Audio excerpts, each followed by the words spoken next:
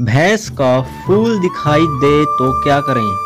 अगर फूल दिखाई दे तो ठंडे पानी में लाल दवाई डालकर उसे साफ़ कर चढ़ाएँ। एक कप देसी करेले की बेल का रस हर रोज पिलाना पशु के लिए फ़ायदेमंद है।